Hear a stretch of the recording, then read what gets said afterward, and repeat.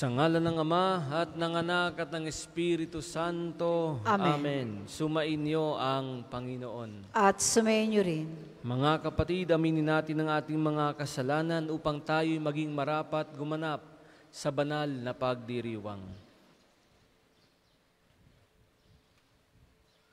Inaamin ko sa, Sa makapangyarihan Diyos at sa inyo mga kapatid, na lubha akong nagkasala sa isip, sa salita at sa gawa, at sa aking pagkukulang.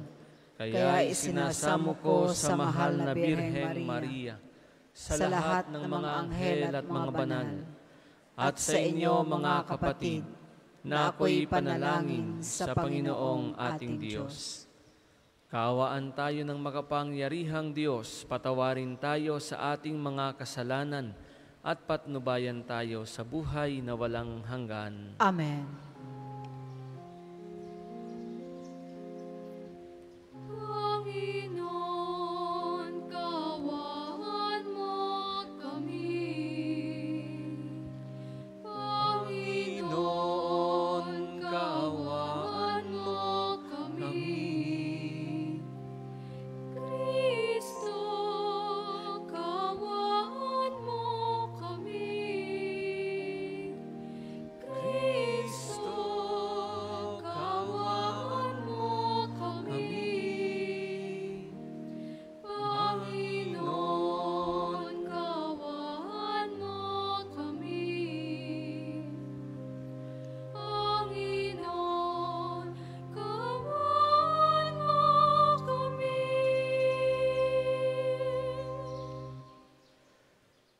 Manalangin tayo.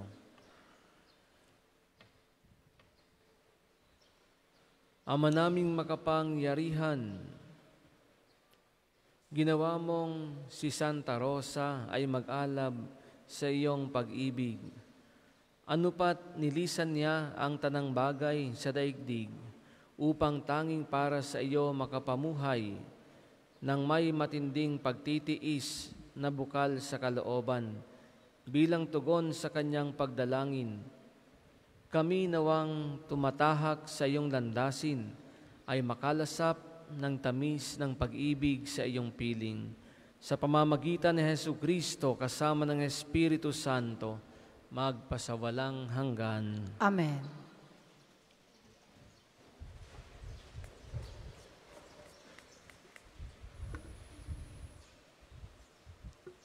Pagbasa mula sa aklat ng mga hukom. Nung panahong iyon, ang mga taga Sekiem at Betmilo ay sama-samang nagpunta sa may sagradong puno ng ensina sa Sekiem at itinilagang hari si Abimelech. Nang mabalitaan ito ni Hotam, tumayo siya sa itaas ng bundok ng Gerizim at humiyaw. Mga taga Sekiem, makinig kayo sa akin at makikinig sa inyo ang Diyos.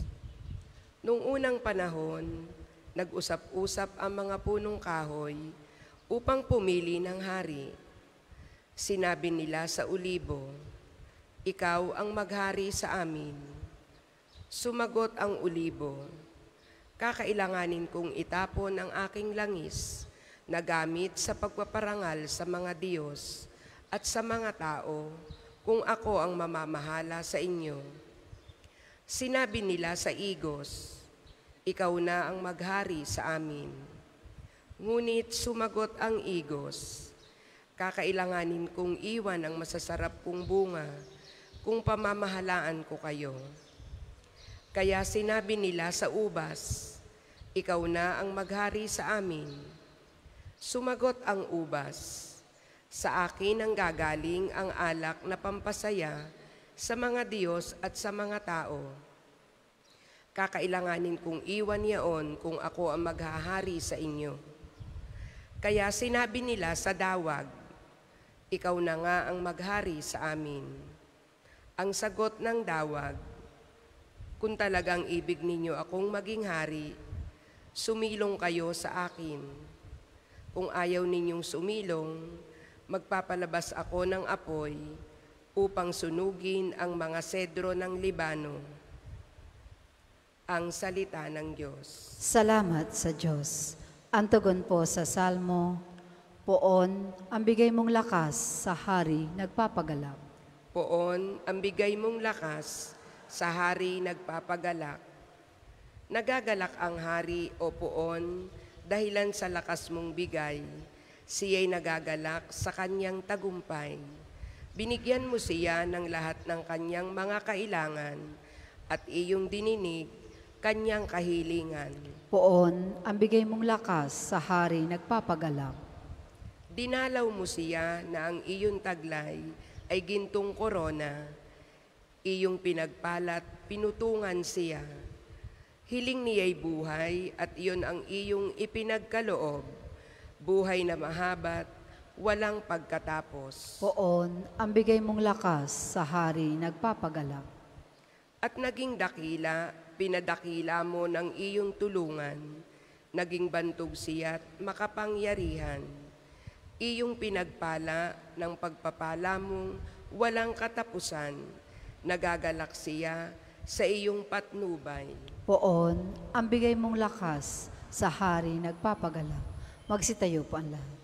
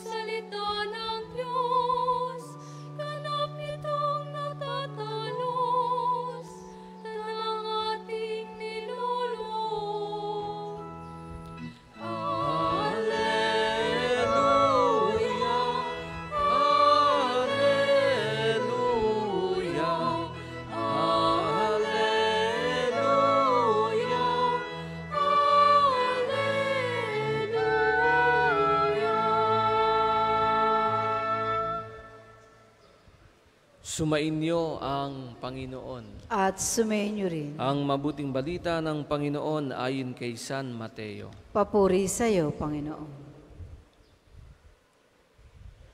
Noong panahong iyon, sinabi ni Jesus sa kanyang mga alagad ang talinghagang ito. Ang paghahari ng Diyos ay katulad nito. Lumabas ng umagang umaga ang may-ari ng ubasan upang humanap ng mga manggagawa. Nang magkasundo na sila sa upa na isang denaryo maghapon, sila'y pinapunta niya sa kanyang ubasan. Lumabas siyang muli ng mag-ikas siyam ng umaga at nakakita siya ng iba pang tatayo-tayo lamang sa liwasang bayan. Sinabi niya sa kanila, Pumaroon din kayo at magtrabaho sa aking ubasan at bibigyan ko kayo ng karapa- karampatang upa. At pumaroon nga sila. Lumabas na naman siya ng mag-ikalabindalawa ng tanghali at ng mag- mag-iikatlo ng hapon at gayon din ang ginawa niya. Nang mag-ikalima ng hapon, siya'y lumabas uli at nakakita pa ng ibang wala ring ginagawa. Sinabi niya sa kanila, Bakit kayo tatayo-tayo lang dito sa buong maghapon?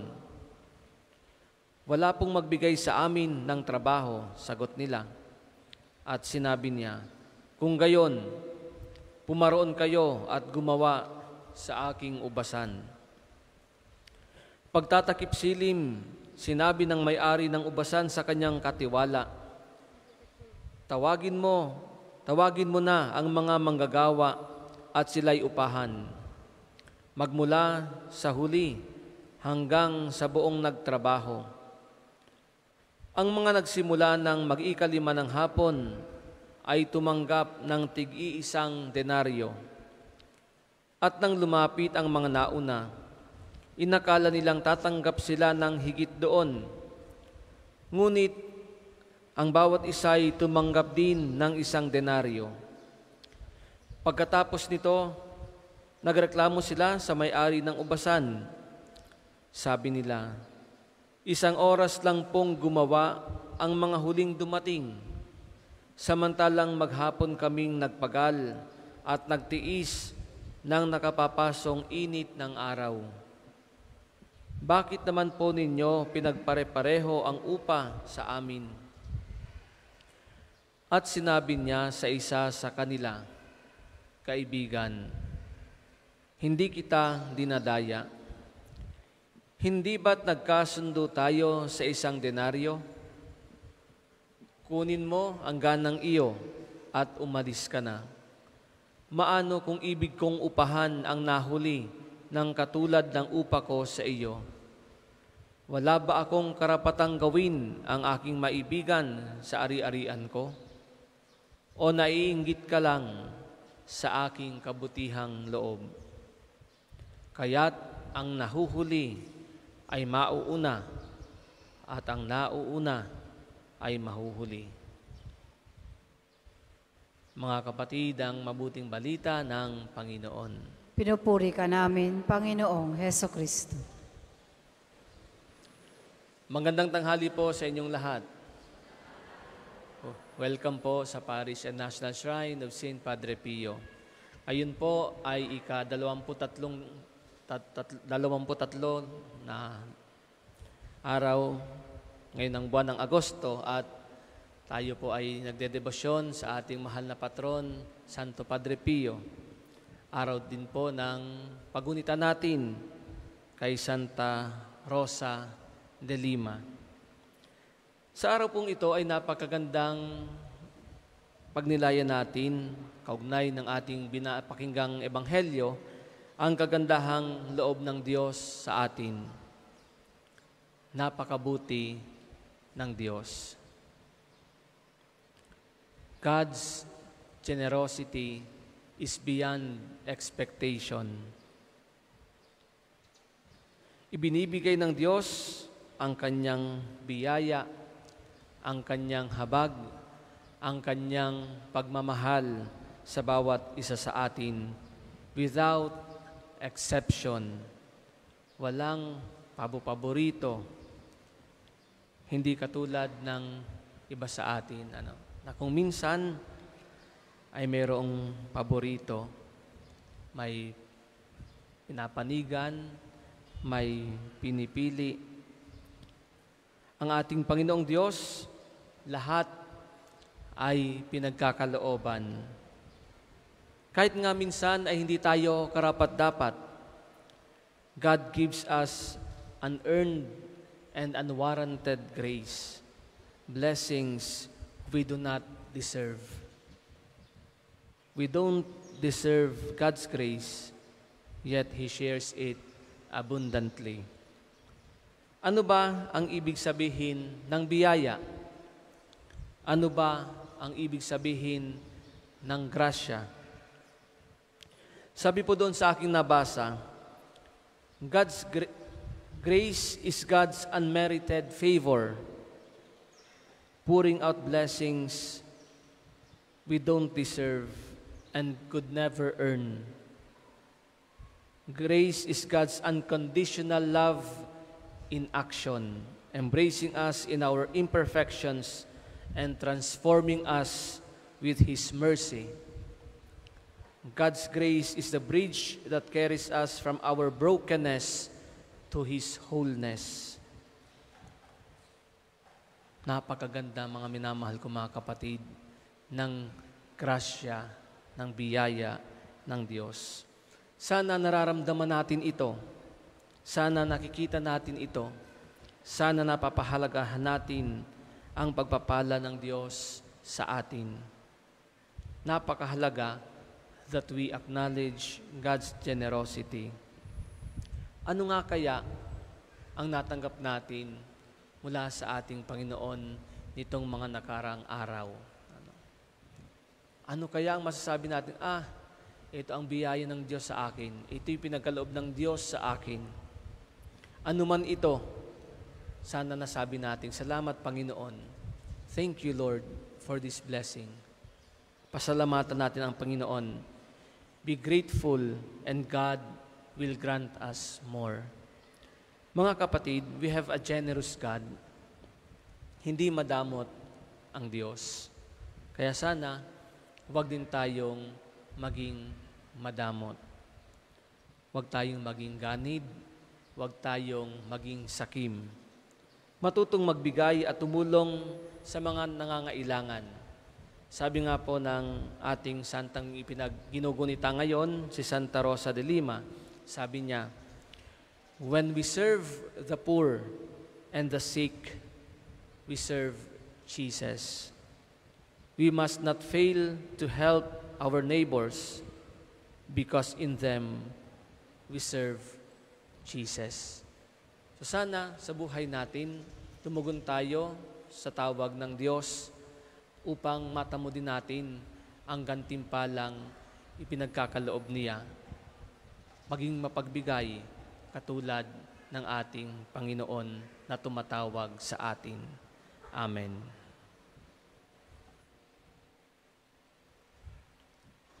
Para sa maghahandog ng sobre, pakihulog na lamang po sa buslo.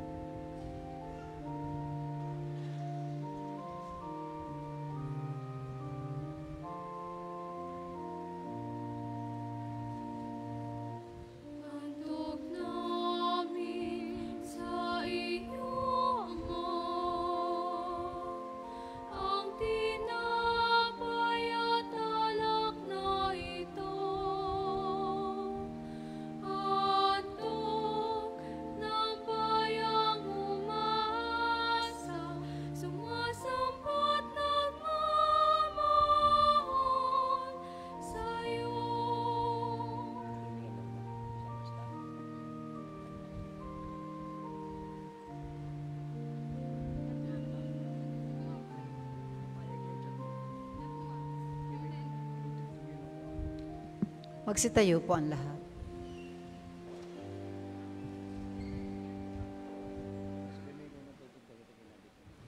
Manalangin kayo mga kapatid upang ating paghahain ni kalugdan ng Diyos amang makapangyarihan. Tanggapin nawa ng Panginoon itong paghahain sa iyong mga kamay, sa kapurihan niya at karangalan, sa ating kapakinabangan at sa buong sambayanan niyang banal. Ama naming lumikha, sa pagpapahayag namin sa iyong kadakilaan, ngayong ginugunita namin ang dalagang si Santa Rosa de Lima. Ang kalugod-lugod niyang kagitingan sa pamumuhay ay magpagindapat dawang kalugdan mo ang aming mga alay sa pamamagitan ni Heso Kristo kasama ng Espiritu Santo, magpasawalang hanggan. Amen. Sumainyo ang Panginoon. At sumayin niyo Itaas sa rin. Diyos ang inyong puso at diwa. Tinaas na namin sa Panginoon. Pasalamatan natin ang Panginoong ating Diyos. Marapat na siya ay pasalamatan. Ama naming makapangyarihan, tunay ngang marapat na ikaw ay aming pasalamatan.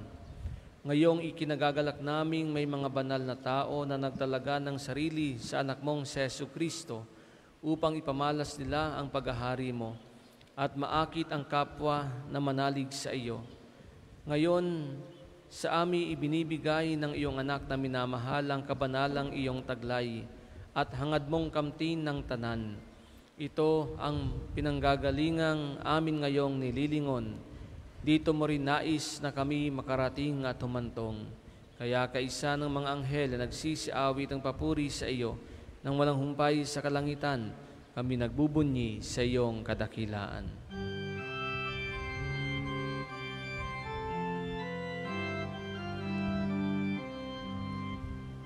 Santo, Santo, Santo, Panginoong Diyos ng mga hukbo, napupuno ang langit at lupa, ng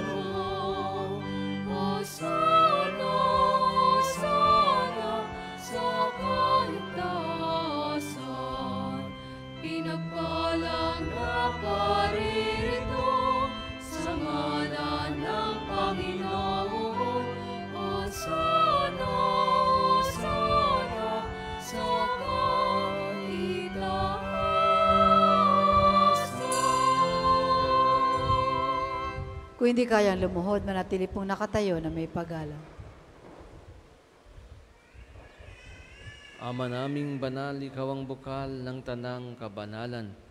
Kaya't sa pamamagitan ng iyong Espiritu, gawin mong banal ang mga kaloob na ito upang para sa amin maging katawan at dugo ng aming Panginoong Heso Kristo.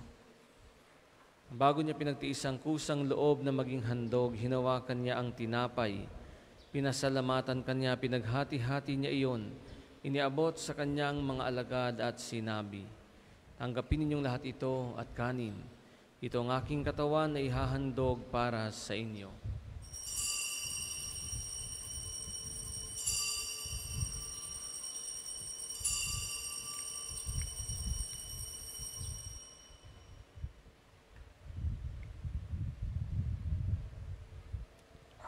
Gayun din naman nung matapos ang hapunan, hinawakan niya ang kalis, muli kanyang pinasalamatan. Iniabot niyang kalis sa kanyang mga alagad at sinabi, Tanggapin niyo lahat ito at inumin. Ito ang kalis ng aking dugo ng bago at walang hanggang tipan. Ang aking dugo na ibubuhos para sa inyo at para sa lahat sa kapagpapatawad ng mga kasalanan. Gawin ninyo ito sa pag-alala sa akin.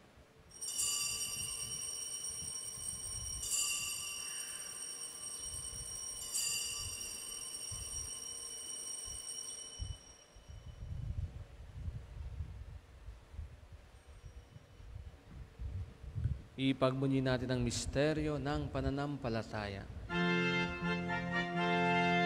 Sa Diyos mo't pagkabuhay, kami natubos mo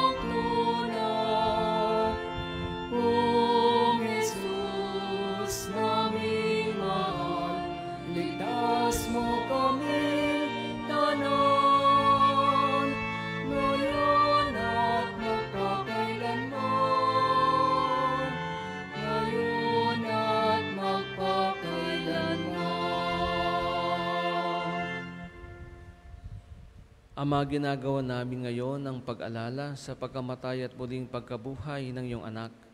Kaya't iniaali namin sa iyo ang tinapay na nagbibigay buhay at ang kalis na nagkakaloob ng kaligtasan. Kami nagpapasalamat dahil kami yung minarapat na tumayo sa harap mo para maglingkod sa iyo. Isinasamo namin kaming magsasalo-salo. Sa katawan at tugon ni Kristo ay mabuklod sa pagkakaisa sa pamamagitan ng Espiritu Santo. Ama, lingapin mo ang iyong simbahang laganap sa buong daigdig. Puspusin mo kami sa pag-ibig kay San Francisco na aming Papa, at Gilbert na aming Obispo at ng Tanang Kaparian. Alalahanin mo rin ang mga kapatid naming nahimlayin may pag-asang sila'y muling mabubuhay, gayon din ng lahat ng mga pumanaw. Kawan mo sila at patuloyin sa iyong kaliwanagan.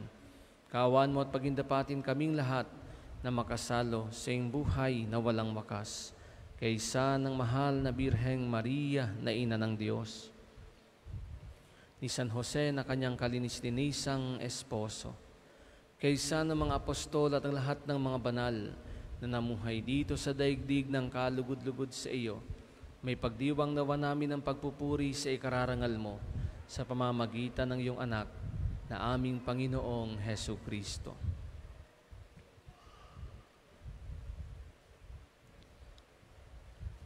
Sa pamamagitan ni Kristo, kasama niya at sa Kanya, ang lahat ng parangal at papuri ay sa iyo, Diyos, amang makapangyarihan, kasama ng Espiritu Santo, magpasawalang hanggan. Amen,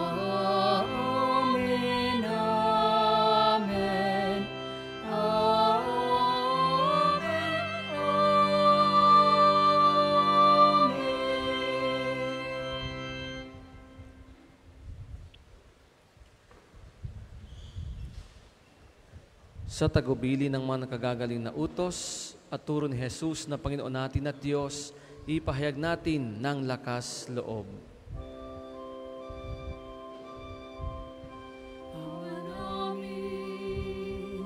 Sumasalangit ka, sambahin ang ngalan mo. Mapasa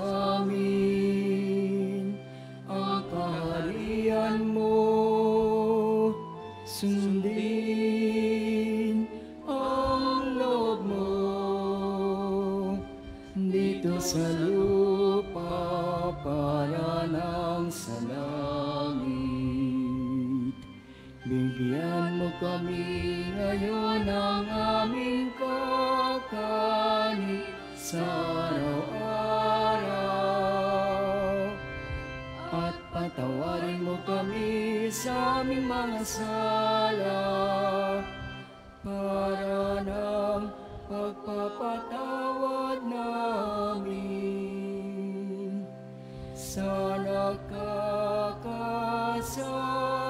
sa amin at huwag mo kaming ipahintulot sa tukso at iadya mo kami sa lahat ng masama. Hinihiling namin kami adya sa lahat ng masama. Pagkalooban ng kapayapaan araw-araw, iligtas sa kasalanan at ilayo sa lahat ng kapahamakan. Samantalang aming pinananabikan ng dakilang araw ng pagpapahayag ng tagapagligtas naming si Yesu Kristo. Sapagkat iyo ang kaharian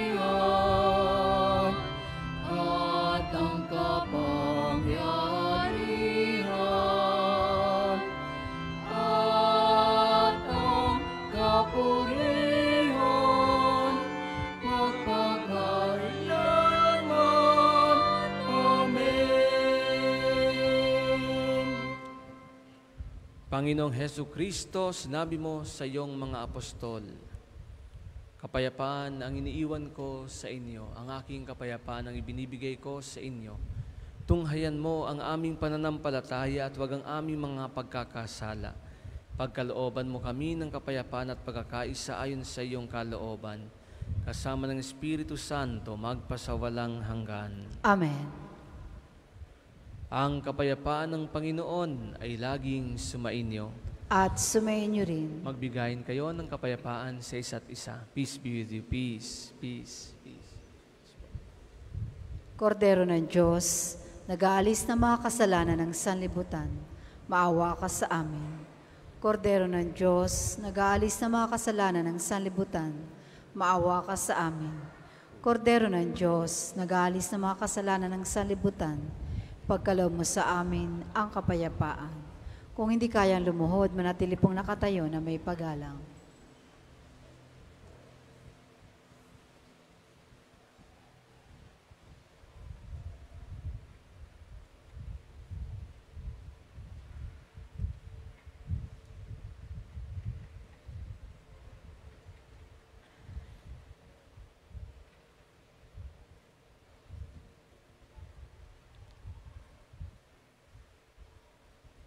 Ito ang kordero ng Diyos. Ito ang nag-aalis ng mga kasalanan ng sanlibutan. Mapalad ang mga inaanyayahan sa kanyang piging. Panginoon, hindi ako karapat-dapat na magpatuloy sa iyo. Ngunit sa isang salita mo lamang ay gagaling na ako.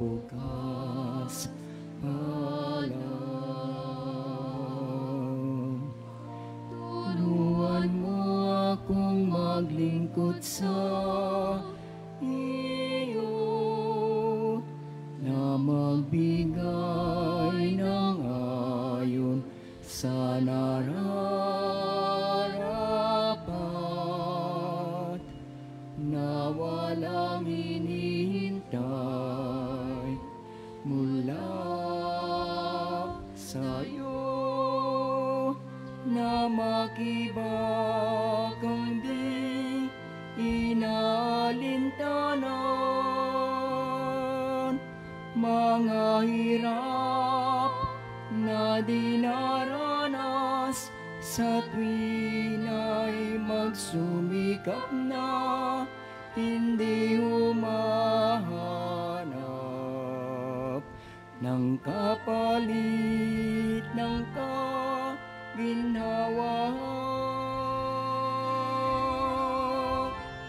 na di naghihintay kundi ang aking mabatid na ang loob mo'y siyang sinusundan.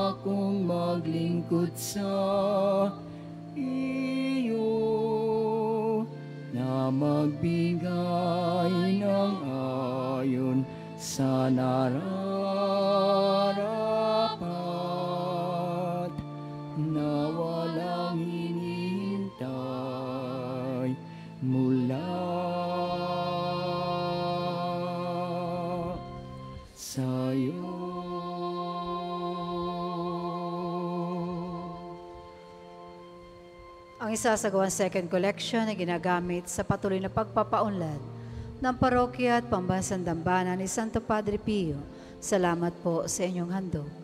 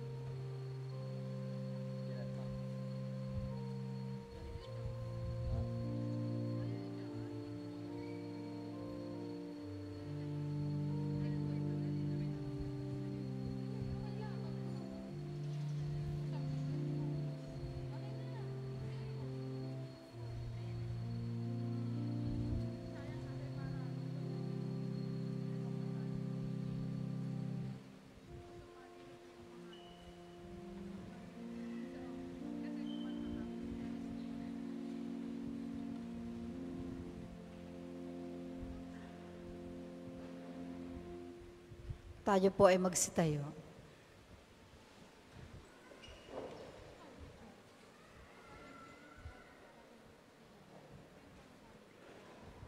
Manalangin tayo.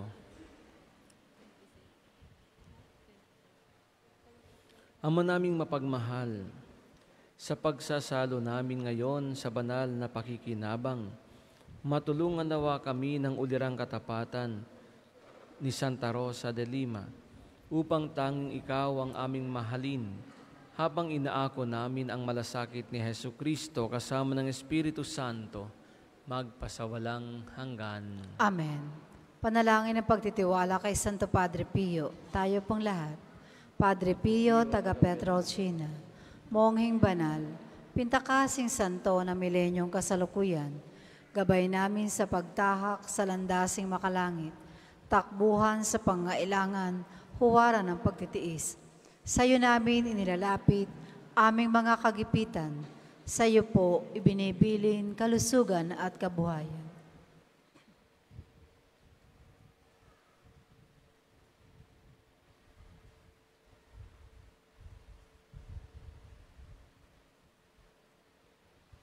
Di man karapat dapat, kami po ay pagbigyan, bendisyonan at basbasan, maging ganap sa buhay. Lumayo nawa kami, umiwas sa kasalanan, lumapit lagi sa Diyos, maging matatag at matibay. Sa mabuting balita ng pagliligtas, turuan mo kami nawa, sa tuwina ay makinig, magnilay at sumampalataya. Amin pong pakiusap, itong mga kahilingan, puso ay nagsisisi, nagtitikang daimtiman. Di na muling magkasala, sunod lagi sa Diyos Amang, kaysa ng Espiritu at ni Jesus sa tagapamagitan. Amen. Magsupo muna po ang lahat para sa ilang patalastas. Una, sa inyong pagdalaw sa pambansang dambana, mangyaring pakaingatan ang inyong mga personal na gamit. Hangad namin ang isang matiwasay at maayos sa pag- pagbisita sa National Shrine. Ikalawa, pinapaalam rin po namin mula sa main arc entrance, tayo may malalaking safe and free parking dito sa loob ng pambansang dambana. Ikatlo, panatilihin po natin ang kalinisan sa loob at labas ng simbahan. Hinikayat natin ang Clego, Clean as you go, sa pambansang dambana. Paalaala po, huwag iwanan ang kalat sa mga upuan. Tayo po ay may basurahan sa likod at gilid ng ating simbahan. Ikaapat, palagi po natin tandaan na ang pambansang dambana ay isang sagrado at banal na lugar. Mangyaring sa pagbisita natin dito ay sundin ang mga tama at angkop na kasuotan. Tanda ng pagsamba at pagbibigay galang sa ating Panginoon. Ikaapat, bilang paghahanda sa kapistahan ni Santo Padre Pio, sa ikasampu ng Setyembre ay magkakaroon po tayo ng full medical mission, tulong sa mga walang kakayahang magpa-ospital para sa dental, opta, pedya, obigaini, ENT, ear, nose, and throat problem, mga operasyon sa sis o bukol at cleft lip o bingot sa pambansang dambana sa pakikipagtulungan ng UST Alumni Medical Society. Tanging 100 to 150 patients lamang po ang kayang operahan. Para sa mga interesado, magkakaroon ng patient screening sa darating na August 26 at September 2 mula alas 9 ng umaga hanggang alas 3 ng hapon. Makipag-ugnayan lamang po sa opisina para sa mga interesado. Ikalima, ngayon po ay kadalawamput-tatlo na Agosto, araw ng pagpapagaling sa pamamagitan ni Santo Padre Pio. Ang healing mass at healing liturgy na may paggagawad ng langis ay sa ikalima ng hapon. Kayo at inyong mga may sakit ay naanyayahan. Ang susunod pong misa ay sa ganap na ikadalawa ng hapon. Maraming salamat po't mangyaring panatilihin natin ang kalinisan, katahimikan, at diwa ng pananalangin sa loob at labas ng ating mga simbahan. Magsitayo pong lahat para sa pagbabasbas ng religious articles.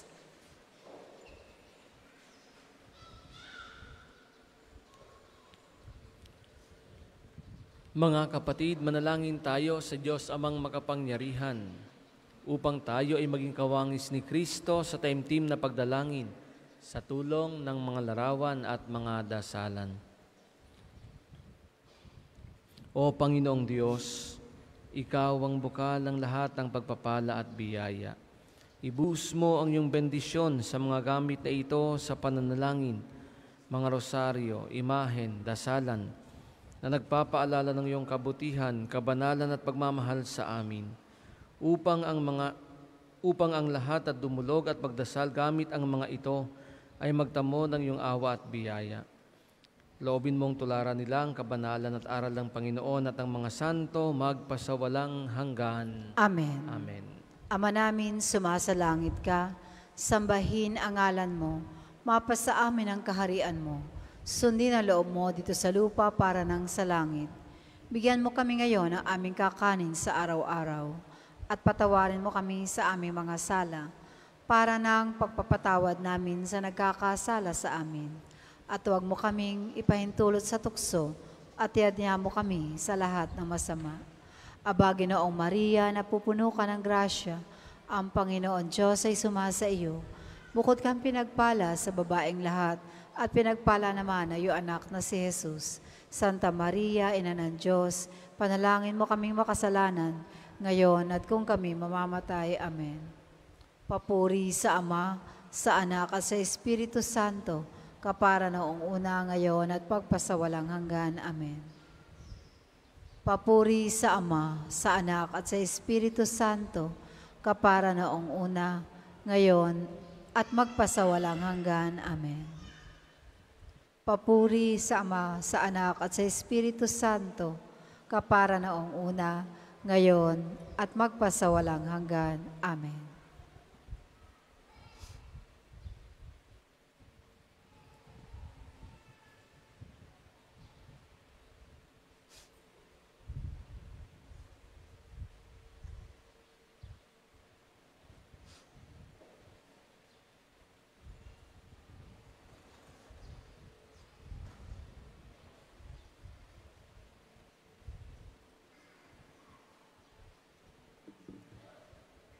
Sumainyo ang Panginoon At sumainyo rin.